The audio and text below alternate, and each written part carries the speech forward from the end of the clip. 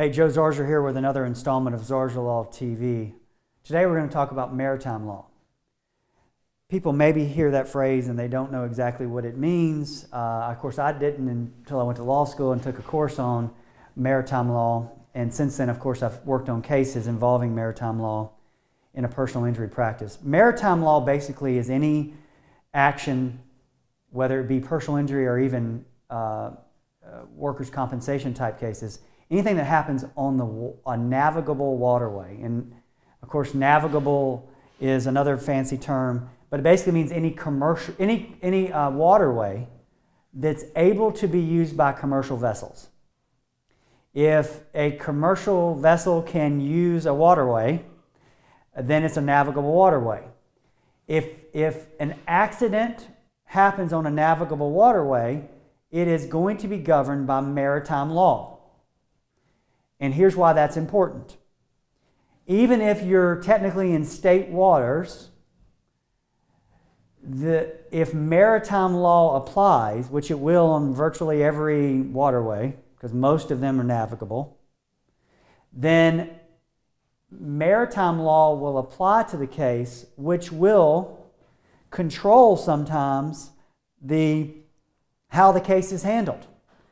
Maritime law is a federal body of law, not a state body of law. And so you've got a state body of law in Florida, and then you've got federal maritime law. If an accident were to happen on a street in Florida, Florida state law would apply.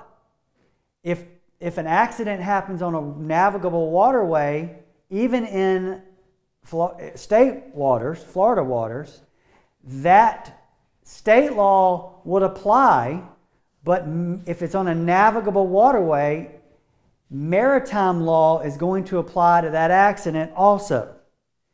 And that's a significant thing because maritime law can control the outcome of the case and can actually pose uh, hurdles for a injured party in recovering uh, from an injury that would otherwise be easier, if you will, to recover from if it happened on land.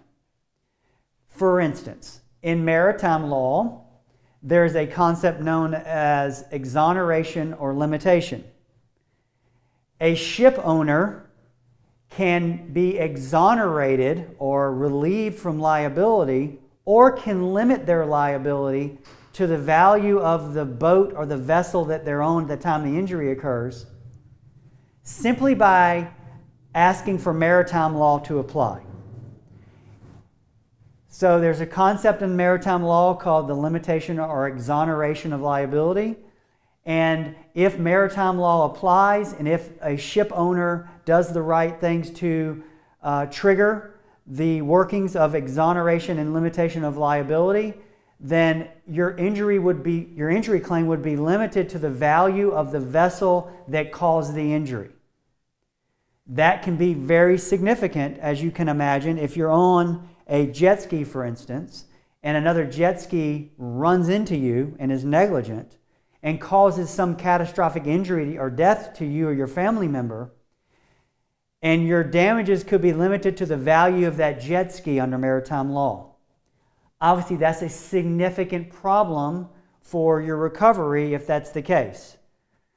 If you're not familiar with maritime law, you don't know the ways around this limitation of liability or exoneration concept. And if you're only uh, uh, verbose or if you're only uh, fluent in state law in Florida on land and not the maritime law, you may not be uh, know about these concepts. It's important if you're injured, obviously, on a navigable waterway or any waterway, that you consider hiring a law firm that has experience dealing with maritime injuries, since they're not typical injuries that would happen on land, they're governed by different law. At Zarzaur Law, we handle maritime cases. We handle, uh, obviously, we handle cases on land, but we also handle all types of, uh, of maritime accidents, whether they be vessel on vessel, jet ski on jet ski. Sometimes you can have a dock uh, incident that is also controlled by maritime law. Um, you can find us on the web at zarzaurlaw.com if you have other maritime type questions. You can also always call us at 855 Hire Joe. Uh, I would urge you, if you have a maritime accident, to make sure you hire a firm that has experience with maritime cases. Thank you and take care.